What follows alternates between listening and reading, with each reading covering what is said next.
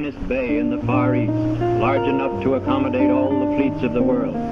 We shall dock at Pier 7, a new double-decked concrete structure 1,000 feet long, built and maintained by the Philippine government.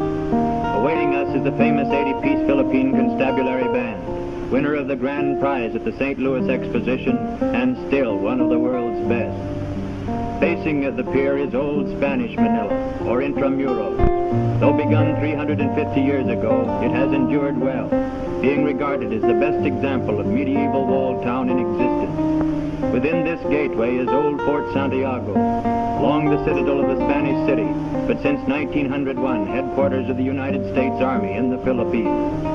This is the 31st Infantry returning from morning parade on an expanse just outside the walls, where was once a moat but which is now an 18-hole municipal golf course. Intramuros, with its narrow streets, is reminiscent of Madrid, except that the little two-wheel carriages are carromatas, and the Filipinos wearing camisas with puff sleeves resembling bird, bird cages are quite exotic to Spain. The camisas are made of piña, or finely split pineapple fiber, not unlike mosquito bar, and are worn over elaborately embroidered chemises. The rising generation seems to want what it wants when it wants it. Perhaps that is why Manila is the only considerable city under the stars and stripes where prohibition is prohibited. Manila's most beautiful women generally are those with Spanish blood in their veins.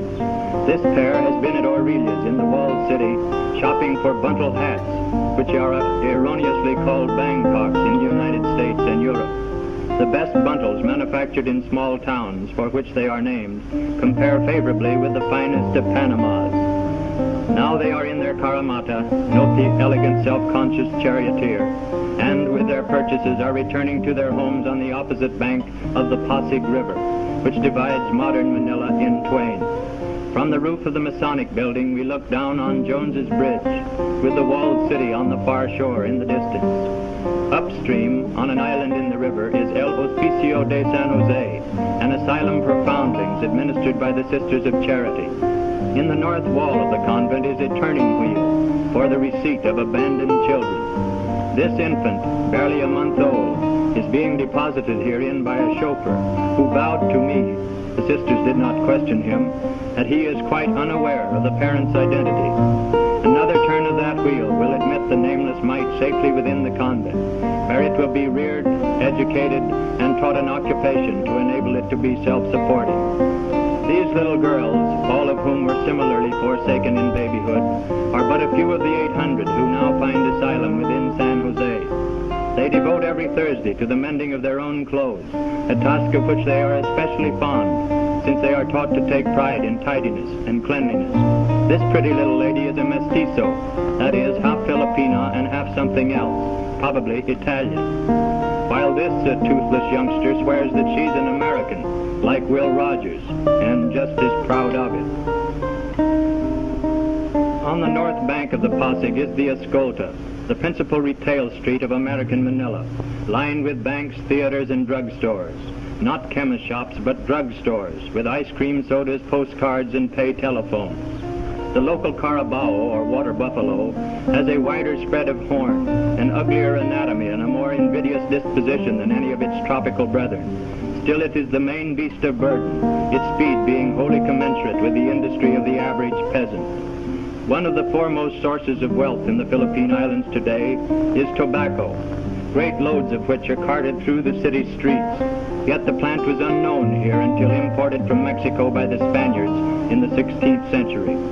Now extensive cigar factories flourish, into which the leaves are brought in bales, then graded as to quality as to length and strength, before being delivered to the expert uh, cigar makers, of whom one factory has more than 4,000, while in this room alone are 700, all engaged in entiring Lady Nicotine, be she trim or a trifle plump, in raiment that will make man's mouth water.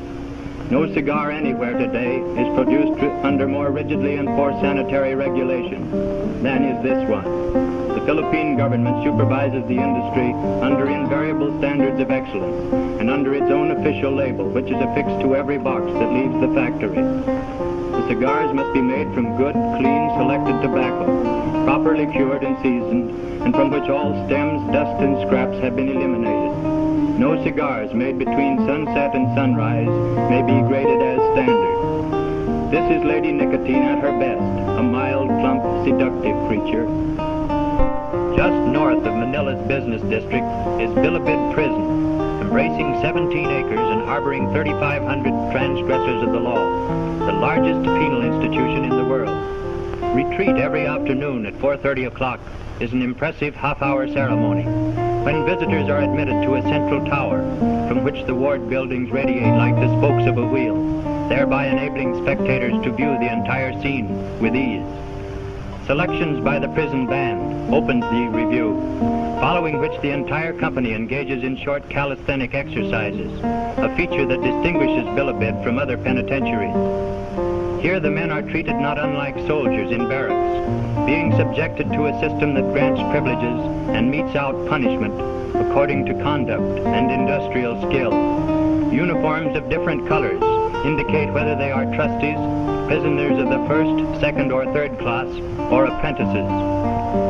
A drill by the crack Bilibid scouts, bearing wooden arms and comprising chiefly life and good behavior prisoners, concludes the afternoon uh, display.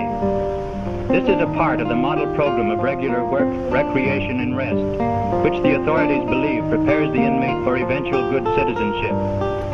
In fact, so beneficent is the regime that most of the guards are stationed outside to restrain immigration rather than inside, as is customary, to thwart emigration. Tondo is the Nipa Shack quarter of Manila, where native huts are set on stilts to provide plenty of ventilation and stables for the livestock beneath. To the westward towers Corregidor Island, above which hover perpetual banks of clouds. Almost every evening, the last rays of the dying sun stream through, so gorgeous that Manila's reputation for matchless sunsets pursues us to whatever port of call.